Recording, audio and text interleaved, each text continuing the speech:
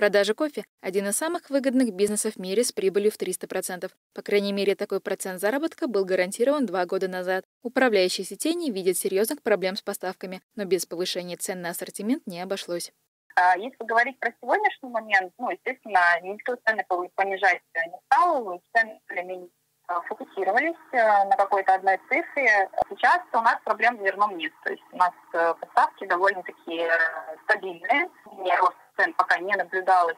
Сегодня портрет клиента кофеин формата To Go – это человек, который по пути или в рабочий перерыв решил взбодриться порцией эспрессо. Также студенты и поклонники определенной сети. Вынужденное повышение цен на ассортимент может грозить снижением потока посетителей.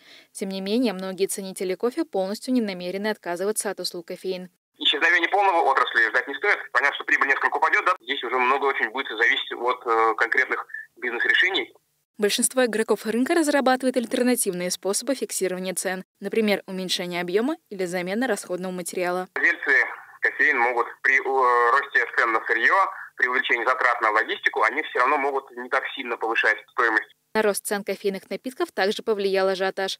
Руководители кофеин в страхе остаться без главного сырья начали массово скупать зерно, поэтому полное закрытие сетей кофеин не планируется. Понятно, что раньше там была логистическая цепочка там из одной стороны напрямую в другую.